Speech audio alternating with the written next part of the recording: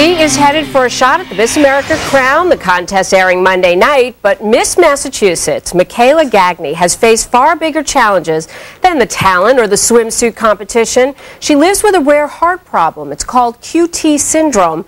She has an implantable defibrillator in her chest. Many of us aren't aware that heart disease, that's right, heart disease, is the leading killer of American women, and that each year in the U.S., heart attacks kill six times more women than breast cancer.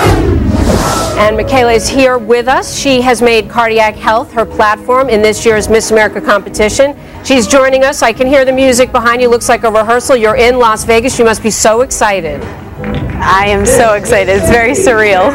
Tell us why it was very important to you to make this your platform.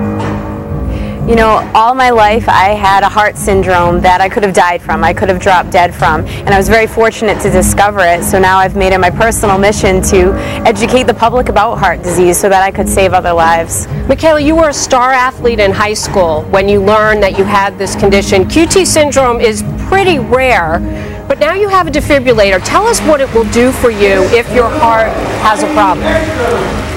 Well, my syndrome, long QT syndrome, it, it can it makes my heart prone to go into an arrhythmia. So if that were to happen, it would actually shock my heart and it would be able to beat steadily again. And how many women do you think uh, should be thinking more about heart disease? All women really need to think about heart disease. It kills more Americans than the next seven causes combined. And that includes youth. And, and it just needs to be a topic that America is aware of. And so what do you want them to know? Should they get checked? Is there a certain age that they should start thinking about it?